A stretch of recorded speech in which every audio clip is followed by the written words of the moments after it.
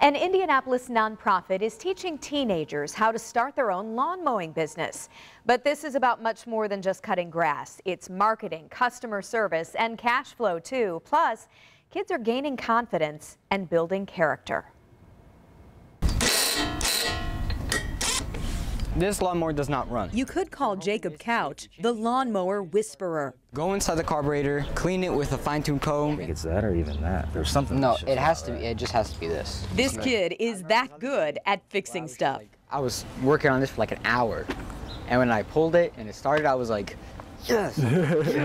But the soon-to-be sophomore didn't know much about these machines until a few months ago. I knew how to like push them. I knew how to like cut grass, but nothing, absolutely nothing about fixing them. And now, I'm a pro. what can I say? I'm a pro. he's one of the biggest success stories of the Lawnmower Project.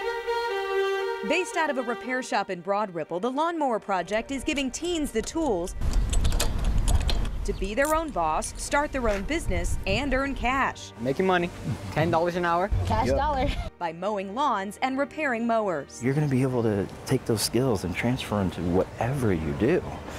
So that's what's that's great. I think good feeling. Check the spark plug. Gary Simzak founded the nonprofit. He's like a proud dad watching young people achieve. A couple years ago, Gary spotted a lawnmower someone gave up on and fixed it. He started finding and fixing more and decided underserved youth could really benefit from these. Kids sign a pledge, never give up, represent with respect, and mow the lawn of at least one person in need for free. Then Gary gives each teen a mower and mentors them as entrepreneurs. Tell them how to get business, where to get business, how to negotiate money. Financial literacy part comes in. Six companies formed last year, another six this year. Z Turner Landscape, We have the business cards, the shirts, uh, the lawnmowers. a brother sister team, is thriving. It's more than just cutting grass. You're actually talking to people. You're learning how to communicate better.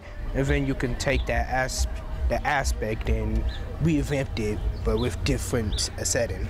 I love that. That was great. These teens see personal changes Definitely thanks to the Lawnmower Project, Maturity. Maturity, improvement, greatness. and they're making future plans. Z wants to grow the business and is investing in herself. I'm hoping to start a savings account this year since I turned 17 to buy me a car with this money. Basically taking this whole thing off. And if you still doubt a lawnmower can actually change lives, just look at Jacob. It gives you a sense of responsibility and a sense of importance. Mm-hmm. Because when you're important, then you feel inside you that you're needed. So you feel good about yourself. This one did not start before, so we're gonna see if it starts now. Turns out cutting grass can lead to big time growth.